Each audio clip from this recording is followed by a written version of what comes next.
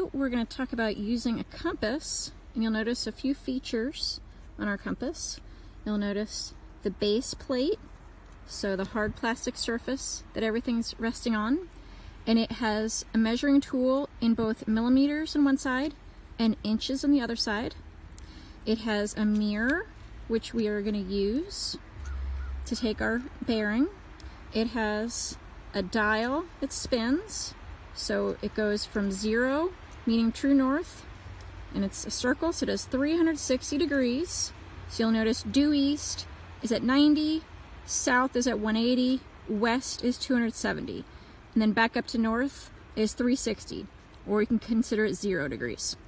Then you'll notice this red magnetic needle on one side that points towards magnetic north, and on the opposite side is white, that's pointing towards south.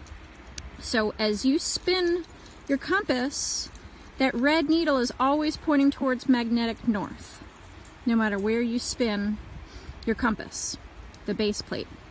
You'll also notice a big, thick red arrow with parallel lines on each side. So those are the orienteering lines. And our goal, you'll hear me say many times, is putting red in the shed.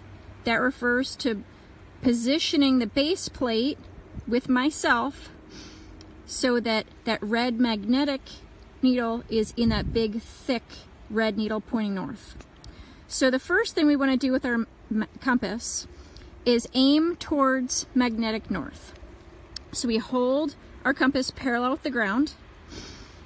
We're going to pull our mirror in towards us so that we can see our dial and see our needle. Then we're gonna point our north, our big north red arrow with all the parallel lines, we're gonna point that up towards zero.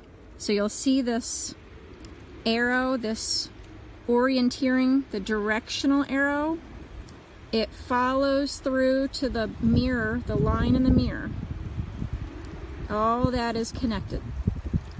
So we want to position ourselves so that that big, thick red north arrow is positioned so that the red magnetic needle is aiming towards it. So red is in the shed. So that from standing right here in this position, you'll see the mirror. Standing in this position, we are now at north. We're now heading north. If we want